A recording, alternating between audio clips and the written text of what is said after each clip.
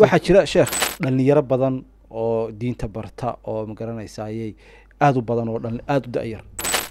Iyaga maxaad u jeedinaysaa? Oo iyagu haddana ururadaa diiniga ah ee jira xiiseynaya oo ku kala biira oo afkaaraha culimadaa kala qeybsan qaata. Maxaad iyaga aada leedahay oo aad u soo jeedinaysaa talo?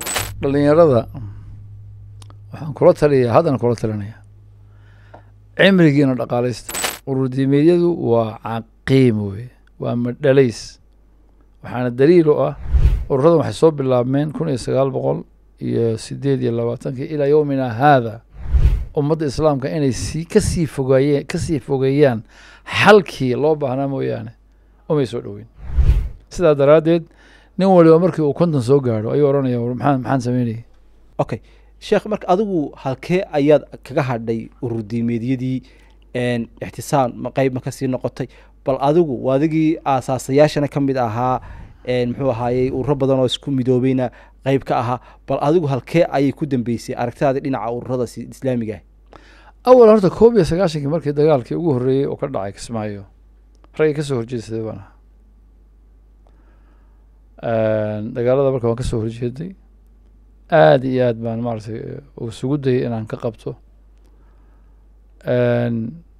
Marka ay dhexda maraysay marmarka qaarkood waxaaba dhici jirtay mararka qaarkood.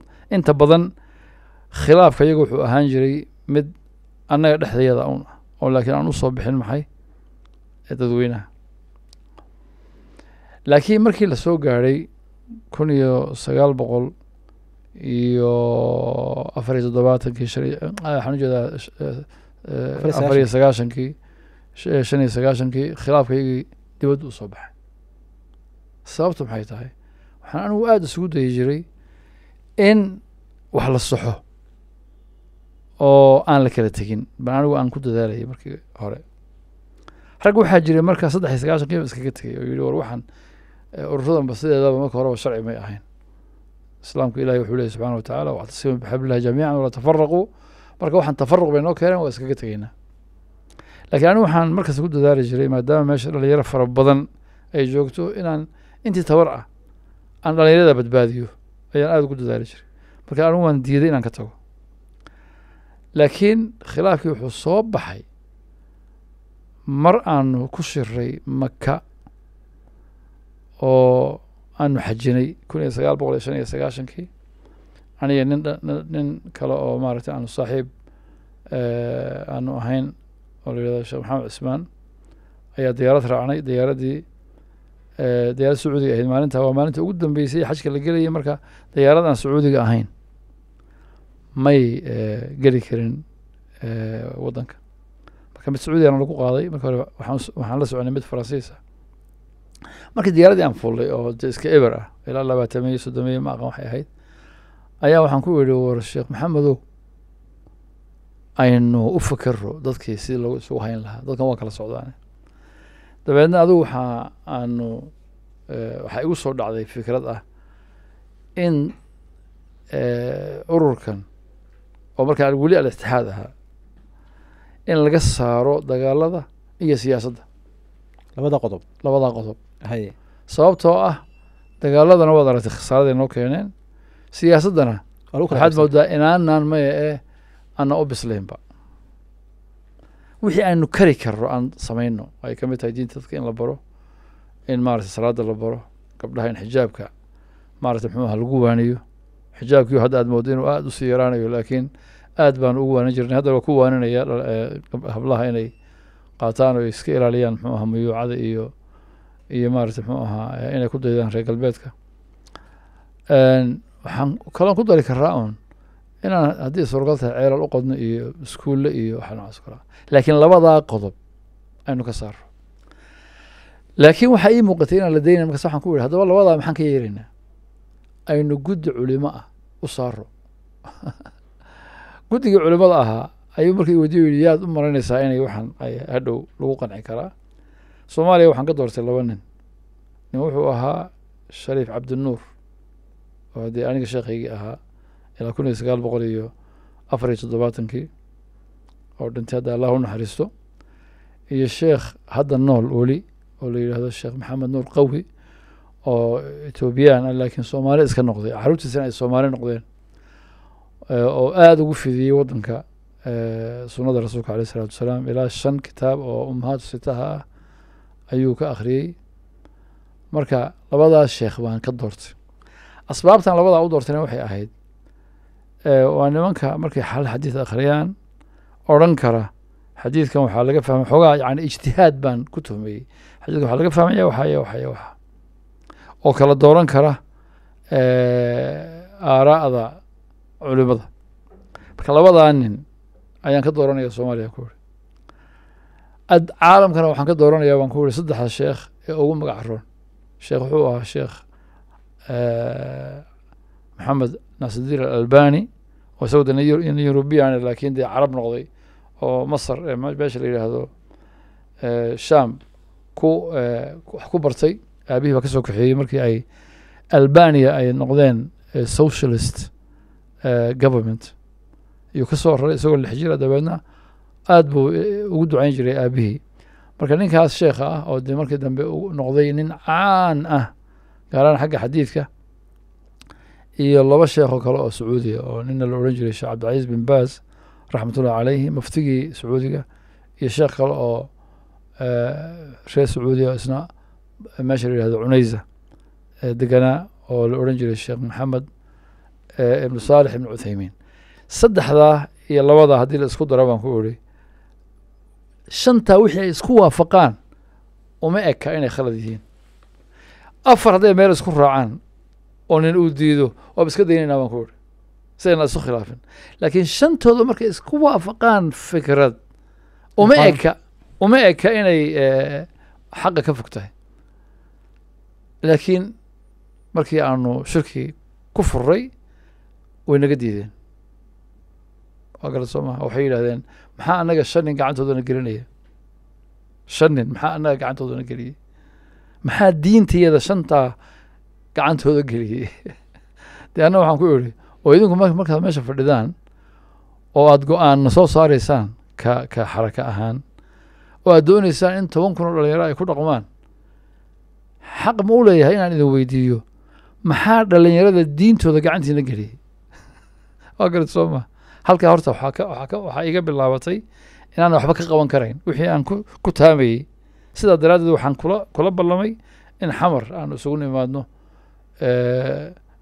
sanadka ka dambe sanadkaa markii aan anigu aan meeshii tegey oon arkay inaan waxba laga yeelayn ayaan sheekh maxamed nuur qawi u tegey. Waxaan ku idhi sheekh maxamed nuur qawi ow waxaan doonaya inaan ka baxo itixaadka.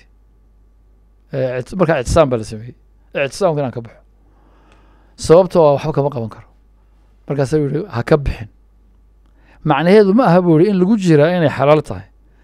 Laakiin nimankii in aad khaladaadka ay gelayaan aad ka qabato ayaa loo baahan yahay waxaan ku yihi ma waxaad u malaynaysaa inay imaqlayaan markaasuu yihi haa markaasuu wuxuu yihi intuu qoslay jinni ninka keenaa bixiye buu yihi waxaan adaa eh, ka shaqayn jiray adiga qayb ka ahaa asaaskoodii marka waa ku maqlayaan ilaa ilaa joog. Markay sidaa leeyihiin isaga way necab yihiinba. Oo waxay u arkayeen in yani lugta qabanaya inuu yahay laakin de wuxuu ahaa nin nasiixa nasteex buu ahaa. Waayahay baan ku oriyay imisaa ballan inoo ah? Hadda maxaad ku heshiiseen? Waxaan ku heshiinay in dadka laga saaro dagaalada in mucaskaraadka la baabi'iyo in dacwadii loo noqdo. Markaasaa wuxuu yidhi taa haddii ay fuliyaan la joog. Oo ka ilaali hadday taa fulin waayaan iskaga tag. Haye. Shan bilood kadib ayaa markaa waxay dagaal ay bilaabeen oo ay ka bilaabeen muxuu aha gedo. Waa lix iyo sagaashanki waxay qabsadeen meesha la yidhaahdo eh, buurdhuubo waxay qabsadeen eh, ceelwaaq. Dagaalkaasi markii ay galeen waxay ahayd february nineteen ninety seven ayaan markaa aan sheekhi telefoon u diran ku ihi sheekh haddee waa- waad arkaysaa nimanka inaysan dhimaqlayn maxaan sameeya iskaga tag buuri markaasaan waan la hadloon ku ihi maca salaama. Laakiin taasi waa jirkayga wey iyo nafteeda wada socota. Gaadhay. Ayaan go'aan gaaray laakiin naf ahaan waxaan ka tegey kun iyo sagaal boqol iyo koob iyo sagaashankii markay dagaalka bilaabeen. Naam. laakiin markaad go'aanka daba qaaday waa markii aad istiri sax ee wixii aad dooneysay inay saxa saxdid ay shaqayn weyday ee dhalinyarada ay dagaal sameeyeen. Marka dhalinyaro ma ahayn dad waaweyn bay ahayn marka waa kun sagaal boqol iyo toddobiyo sagaashankii baad go'aan ka gaadhay. Ilaa markaa lix iyo tobankii february lix iyo tobankii february kun sagaal boqol toddobiyo sagaashankii. Ah, ilaa maalinta ilaa maanta wax urudiimeeda xubin kamaad noqon. May. Waxaa sababtoo ah shaksiyan waxaan rumaysnahay inaan loo baahnayn. Ilaa imika. Ilaa iminka waxaan rumaysnahay ururdiimeed looma baahna. Sabab? Waxaan loogu baahnayn waa kuu sheegay eh, daraad mi ahayd ma aqaan. Anu waxaan rumaysnahay dowlad oo urur weyn soo maha Mm. oo sh- oo bulshadii dee ilaalinaya oo tuugada ka ilaalinaya Wux- wuxuuna yani maarata mxuu aha service qabanaya kaama loo baahan kaama loo baahan mise looma baahna islaamiyan waa loo baahan yahay caqli ahaanna waa loo baahan yahay markaa dowlad nooceeya waa inay noqotaa dowlad islaami ah laakiin haddii ay boqol kiiba boqol dowlad islaami noqon weydo wixii markaa jira in la burburiyo mehe waa in la kabkabaa taasaan rumaysnay anugu oo loo naseexeeyaa wixii khaldan ee diinta ka soo horjeeda oo ay dadka faraanna waa in looga naseexeeyaa haddii adiga ay ku faraan muxuu aha wax khaldanna aad tidhaha ma samayn karayo masaladaas. Laakiin waa inaan la burburin dowladdii de oo aan gacan sida qaada samayn sidaa marka ra- fikradeyda ma aha. Waa sida rasuulku ku taliyay alayh isalaatu wasalaam oo yidhi eh, man man man man ra'aa min amiirihi shay-an yakrahuhu falyasbir. Ninkii ninka madaxda u ah ka arka wax uu dhibsado waxaa la dhibsanayana waxaa weeyaan ama waa adduunya ama waa diin weeye falyasbir ku kac lama dhihin. Mudaharaad ku sameeya lama odhan. Falyasbir buu yihi rasuulka alayh salatu wasalaam. Waa garan soo ma? Axaadiis axaadiis kaloo fara badan waxaa waxaa ku jirtay muxuu ahaa ismacuu wa atiicu? Fa inamaa calayhi maa xumiluu wa calaykum maa xumiltum. Markii la weydiiyey haddii ay soo baxaan niman madax ah oo yas'aluuna xaqahum xaqoodii wayna weydiisanayaan maqla bay leeyahay annaga madaxdii wayamnacuunana xaqana xaqeenina way noo diidayaan. Maxaan ka samaynaa? Muxuu yidhi ismacuu wa atiicuu maqla oo adeeca fa inamaa calayhim maa xumiluu wa calaykum maa xumiltum iyagana aakhire waxaa la weydiinayaa wixii mas'uul looga dhigay idinkana waxaa laidin weydiinaya wixii mas'uul idinka dhigay. Shacbiga maxaa mas'uul looga dhigay? Inay dowladdooda maqlaan. Oo aanay burburinin eeg hadday burburiyaan gaala soo dhex gelaysa meesha xooggii muslimiintana wuu baaba'aya marka inaad sabirto ood dhibkooda ku sabirto ayuu rasuulku amray alayhi salaatu wasalaam marka iyaga waxaa laga rabaa wixii maarata muxuu ahaa loo xambaariyey oo ay mas'uul ka yihiin idinkana waxaa laydinka rabaa wixii aad mas'uulka tihiin oo ah inaad maqashaan laakiin hadday ku faraan shay xaaraama ka waran lagama yeelayo markaadan ka yeelayna macnaheedu maa ku kaca. Tan ma yeelayaad oranaysa hadduu haddana wax kaloo fiican yidhaahdo hala sameeyo waad samaynaysa sidaas weye sida dowladnimada ay muxuu ahaa ay ku dhisbi karto. Maxaa ku soo hadhay marka? Su'aal kale ad weydiiso oo ku dhex jirtay. Okay. Gabagabadii baan tegi doonaa iminka sheekh muddo dheer baad taariikh badan baad ka soo sheekaysay. Ururadan diimaha iyo afkaaraha kala duwan ee dadka magaranaysaayay muslimiinta ah ay qabaan ee ururada loo kala samaysanayo. Saameyn noocee ah ayay ku yeelatay bulshada soomaaliyeed meel kastoo ay joogto ururada diima di- ururdiimadyadaasi dhaqaalahoodii dhaqankoodii diintoodii siyaasadoodii ammaankoodii. Dee horta kala qaybsanaan fara badan oo baahsan way jirtaa. Ummaddan islaamka waxaa la rabaa inay waaxid ahdaan inama almu'minuuna ikhwa waa walaalo. Ko waxaa kaloo loo baahan yahay in ay siyaasad ahaan iyo diin ahaanba ay waaxid yihiin.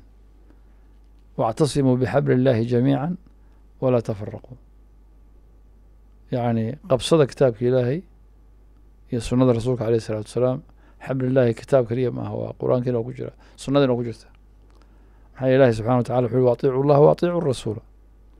Sma garanaysa marka in la qabsado kitaabkii iyo sunnadii bal la qabsado oo kale tafsiirkooda loo daba fadhiisto saxaabadii waataan akhriyeynay aayaddii qur-aanka ayad ilahi yihi subxaana wa tacaala والسابقون الأولون من المهاجرين والأنصار والذين تبعوهم بإحسان رضي الله عنهم ورضوا عنهم marka in waaxid la noqdo ayay ahayd waxay ku keentay oo rudiyadu waxay ku keeneen bulshadii soomaali keliya ma aha caalam alislaami waxay ku keeneen tafaruq nin waliba markuu nin ka xanaaqo ururkaas uu ka go'ayaa mid kale u samaysanaya xataa ikhwaan muslimiinka markii la sameeyey kun iyo sagaal boqol iyo sideed iyo labaatankii sheekhii sameeyey oo jooga ayaa ay kala jajabeen. Halkan anigu waxaan xusuustaa mar ay maruu hal urur jiray ururkii la odhan jiray alahal mid keliya u ahaa. Dhowr sannadood ka bacdi toban sana may gaadhayn ayaa waxay u qaybsameen muxuu ahaa ikhwaan iyo takfiir iyo jamaca islaamiya waka bal ikhwaankii baa saa u sii kala jabaya marka masalo kalaa jirta oo ah muhiim ah dadku maxay ku heshiin karaan diin ahaan waxay ku heshiin karaan anugu muslim baynu nahay waa in diinta islaamka sal looga dhigaa laakiin diintii baa la isku khilaafay kan waa dariiqa fulan kan waa dariiqa fulan kaasi waa ashcari kaasi waa salafi kaasi waa kida. Socaynka lama yidhahdo okay waxay u baahan tahay horta dadka cuqaasha ah culimada aqoon-yahanadu horta inay dood ka sameeyaan. Maxaa keenay khilaafkan diiniga? Ah waxaan isleeyahy waxaa keenay saddexdii qarnii ugu horreeyey ee ummaddu ay midaysnayd diiniyan. Xataa berigaas siyaasiyan looma midaysnayn. Laakiin weligeed diin la iskuma qabanin. Marka laga reebo kuwa ka dhex baxay ummadda oo kulligood hal mar ah la yidhi kuwaa iska ilaaliya. Culimadii de waaweyneyd saxaabadii taabiciintii atbaacu taabiciin. Culimadii la yaqaanay imaam shaafici imaam axmed imaam malik sufyaan athawri sufyaan ibnu cuyeyna kulligood dadka ehlu sunnaha ahaa waxay yidhahdeen shiica iska ilaaliya iska ilaaliya khawaarij iska ilaaliya muctazila iska ilaaliya murji'a iska ilaaliya jahamiya waa kale soo maa marka wax ururo samaysta kuwaasaa ka jiray. Ahlu sunnihiina kulligood hal gacan iyagoo ah ayay iska celiyeen. Waa kale soo maa laakiin berigii dambe ay dowladdii islaamka ay daciiftay nimankaas waa soo noolaadeen. Khilaafkiina way badiyeen. Khilaafka maanta ururada diiniga ah dhex yaallana waxyaalo badan oo ka mid ihi xaggaasa ka yimaadeen. Maxaan u baahannahay marka saddexdii qarnihii ugu horreeyey ahlu sunnuhu wixii ay qabeen kutubtii waa qoranta waxaa la rabaa in lagu heshiiyo. Suuragal maaha inay saxaabada ay khaldamaan taabiciinta ay khaldamaan oo annaga aanu sax noqono ma bannaan tahay in urur urur diini la sameeyo. Anigu waxaan qabaa inaanay bannaanayn. Maxaa ilahi wuxu uhi walaa tafaraquu eeg. Ha kala tegina buuri laakiin waxaan ogahay ururada diin diiniga naftoodu in ay aniga nafteeda ay yidhaahdaan isnba urur diinigu ka tirsan yahay oo la yidhaahdo asalafiya aljadiida waa kale soo ma asalafiya aljadiida ka mid tahay. Urur baa tihiin. Waad sheekaysataan. Hadda nin waliba dadka saaxiibadii uu la sheekaystaa. Ninka isku afkaar dhow la sheekaystaa. Laakiin ma urur diini urur diimeed baan nahay. Ma nihin. Qofka yidhaahda urur diimeed baa tihiinna. Horta aakhire waa la tegayaa oo dee waa ogaan doona. Waxaanu nahay. Laakiin waxaan hadda ka horna u bandhigay rag ka mid ah urur diimeedyadaas haddana aan u bandhigayaa maka aynu tagno kacbada horteeda oo aynu ku dhaaranno. Okay. Waxaa jira sheekh inagoo gebagabadii kuso ku siqanay barnaamijka. Ah. dhalinyaro badan oo diinta barta oo magaranaysa ayay aada u badan oo aada u da-yar. Iyaga maxaad u jeedinaysaa? Oo iyagu haddana ururadaa diiniga ah ee jira n xiiseynaya oo ku kala biira oo afkaaraha culimadaa kala qaybsan qaata. Maxaad iyaga aada leedahay oo aad u soo jeedinaysaa talo? Dhalinyarada waxaan kula taliyaa haddana kula talinaya cimrigiina dhaqaalaysta. Cimrigiina dhaqaalaysta.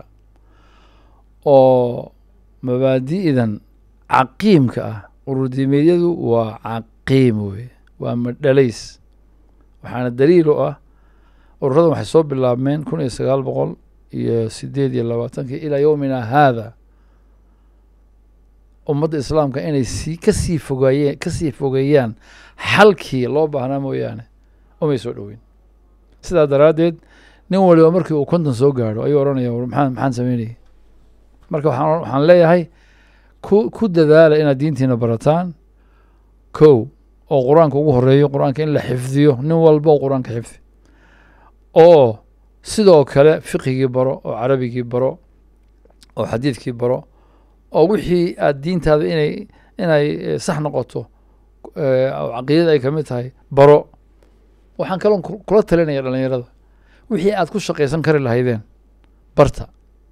Hadday tahay eh, inaad noqoto muxuu ahaa balama yani dadka u xirxiri kara muxuu ahaa biyaha electrician muxuu ahaa waxyaalahan mathalan i t-ga injineerada barta sababta oo ah mas'aladan waxay kaa xalinaysaa in diintaada la maqlo.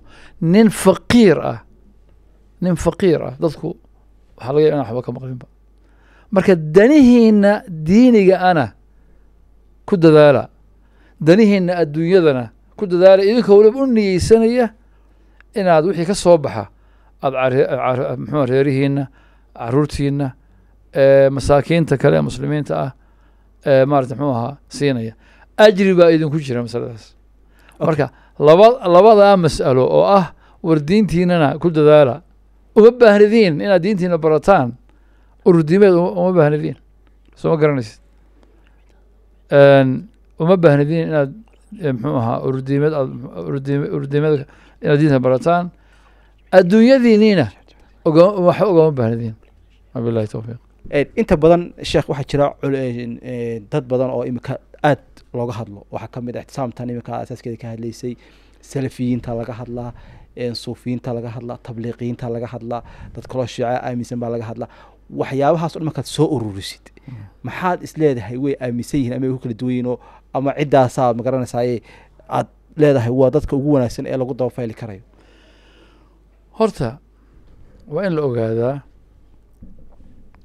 eh, ururadii haddaan sheegaya oo ahaa shiico khawaarij muctasila murji'a jahmiya waa waxaa la waafaqsan yahay inay nimankaasi khaldanayaan haddii la doonayo marka dadka wadaadada ah in la qiimeeyo qolo walba waa in lagu eegaa war nimankii hore ee bidcada ahaa maxay ka waafaqsan yihiin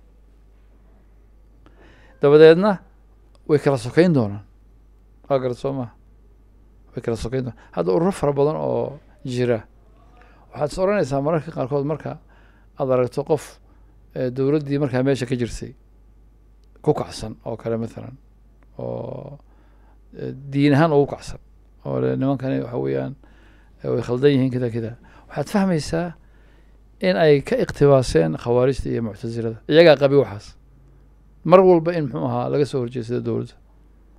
Waa waa gar soo maha. Ma marna haddii xoog leeyihiin ay la dagaalamaanba. Waa gar soo maha. Marka waa calaamad lagu garan karo halkaasi in ay kaga jirto eh, wax maaragtay muxuu ahaa eh, khuruuj khuruuj uu kaga jiro. Kelimadan dee caan baxday beryahan oo ay eh, urdiibadyadu ay keeneen ashacbu yuriid isqaat annidaam dee may ahayn keliya un shacbiga ee waa la dhex socday oo siyaasiyiin cilmaaniyiin way dhex socdeen. Wadaadadiina wa- wa- wa- way raaceen. Marka waxa weye horta waxaa la rabaa in nimankan loo ekaan. Taasi waa mid wey mathalan waxaa waxaa ka mid ah suufiyada oo kale. Suufiyada waxaa la odhan karaa mid waa iska cibaadaystaa un laakiin kitaabkii sunnadii iyo saxaabadiiba daba socda hadduu sidaa yidhaahdo magacaasna waxba no- noo dhibi maayo laakiin marka suufigu uu kitaabka ilaahay iyo sunnadii rasuulka iyo saxaabadii uu garab maro waana sida hadda ay u badan yihiin xaqiiqatan.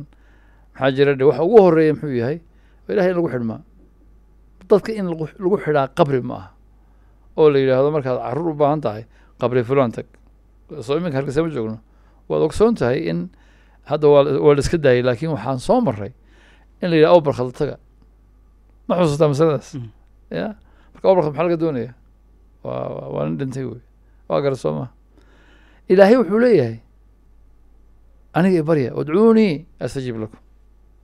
Waa gara soo maha marka ninka suufiga sheeganaya ee haddana qodobkaasoo muhiim jiddan ah meesha ka saaraya waa khaldan yahay. Waa in marka dadka iyagana ay iska ilaaliyaan dadkana culimadana ay u sheegaan o war ka jooga ka jooga. Shacbiguna inay in lagu xidho qabri waa inay iska ilaaliyaan oo ilaahay ku xidhmaan. Ilahay wuxuu leeyahay udcuunii astajib lakum rasuulku wuxu uhi alayh salatu wasalaam udcu llaha wa antum muuqinuuna bilajaaba waxaa kaloo iyadana muxua suufiyada lagu haystaa sida loo tukado eh, cibaadaadka waa in nabiga laga qaata alayh salatu wasalam muxuu yihi saluu kamaa ra'aytumuni usalii soo garanaysid? Khuduu canii manaasikakum. Saad u xajiyeysaan. Waxaa la rabaa in nabiga lagu xidhmo. Qof bani aadana oo boqolkiiba boqol saxan ma jiro oo aan nabiga ahayn alayh isalatu wasalaam. Iyo ijmaaci saxaabada marka waxaan u baahannahay marka in ururdimeedyada iyo suufiyada iyo tabliiqa iyo kulligood inay dib u noqdaan oo ay ku socdaan wixii nabiga laga soo gaadhay iyo wixii saxaabada laga soo gaadhay nacam aada iyo aad bu daawadayaal u mahadsanyay kaas waxaa sheekh maxamed cabdidaahir oo isagu in muddo dheer ka soo tirsanaa ururada islaamiga ah isla markaana ah sheekh caalim ah oo bartan barnaamij taxano ah oo ku saabsanaa diinta islaamka iyo taariikh nololeedkiisii ururadii islaamiga ahaa ee dhulka soomaalida ka jiri jiray qaabka u soo asmaasmeen qaabkii qaar ka mida u burbureen iyo gunaanadkii oo uu talooyin iyo soo jeedimo kala duwan uu u jeediyey dadka soomaalida ah ama dhalinyarada dhinaca ururdiimeedyada ku jira. Intaanu barnaamijkan kula mid ah ku kulmi doono oo barnaamijkan ahaa qaybtii saddexaad ee u dambeysay waxaan idinkaga tegayaa assalaamu calaykum waraxmatullaahi wabarakaatu